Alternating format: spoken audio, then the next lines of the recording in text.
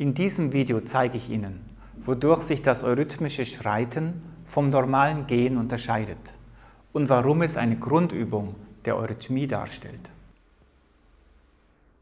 Erde, ich spüre dich. Leise berühre ich dich. Beim normalen Gehen geht es darum, wer geht und wohin was ist das Ziel? Beim Schreiten kommt es mehr darauf an, wie ist man mit sich selbst verbunden? Wie bin ich mit der Erde verbunden? Die Verbindung mit der Erde ist für uns Menschen wichtig. Hier mache ich meine Erfahrungen. Hier treffe ich auf die Widerstände, an denen ich mich entwickle. In die Erde kann ich mich nicht hineindrücken, da drücke ich mich weg davon in die Erde kann ich mich nur hinein fühlen. Daher ist das Gefühl im Schritt ein Schlüssel, um sich mit der Erde zu verbinden. Und das Schreiten ein Bild für den sich entwickelnden Menschen. Der Schritt im Alltag ist aufs Praktische gerichtet. Die Vorwärtsrichtung dominiert. Schritt und Schritt und Schritt. Und es ist ein digitaler Schritt. Verse, Sohle. Eins, zwei. Wille, Tat. Wir gehen auf der Erde vorwärts.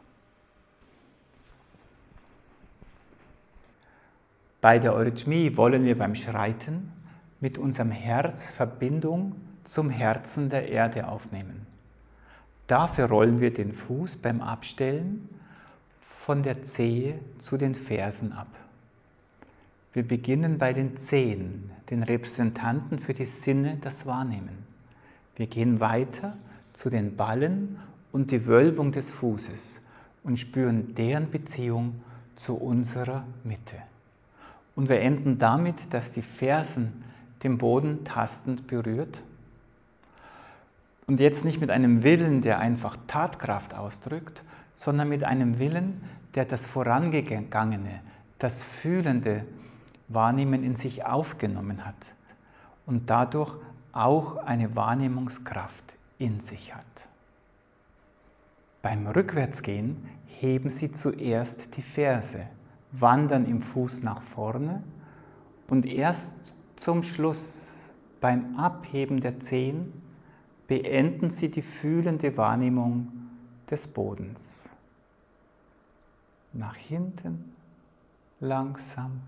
Und beim Aufsetzen rollen Sie den Fuß ganz normal von den Zehen zu den Fersen ab.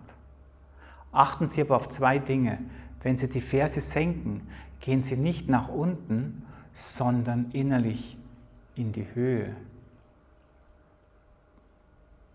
Dann fallen Sie nicht nach hinten in den Schritt, sondern richten sich im Gegenteil auf.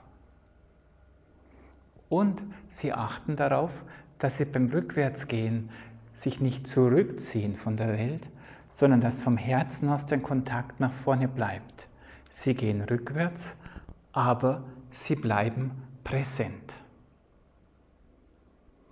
Wenn Sie das Bein nach hinten bringen, den Boden tasten, berühren, langsam abrollen, sich aufrichten, gleichzeitig am vorderen Fuß langsam beugen und nach unten gehen.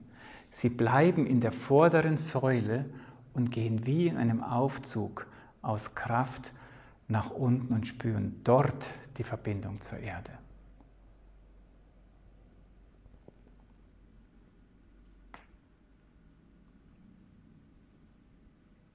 Hinten streckt das Bein, sie richten sich auf und vorne verbinden sie sich nach unten.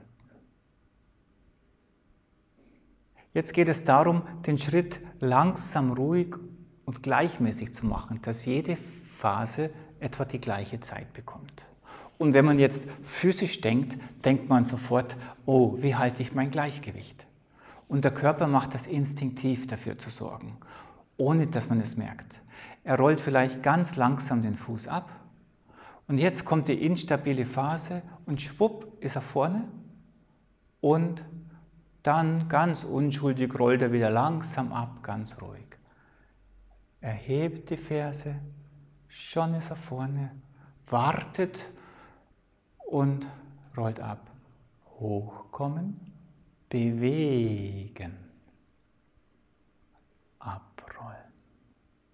Tragen Sie den Fuß also langsam nach vorne. Geben Sie jeder Phase gleich viel Zeit. Zählen Sie eins, zwei, drei. Machen Sie sich auch zunutze, dass jede dieser drei Phasen in sich wieder drei Phasen hat.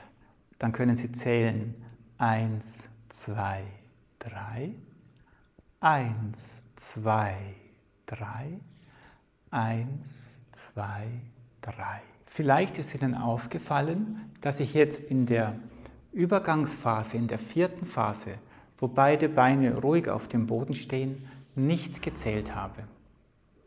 Dies ist eine Phase, die nimmt sich raus aus diesem normalen Ablauf, die ist zeitlos.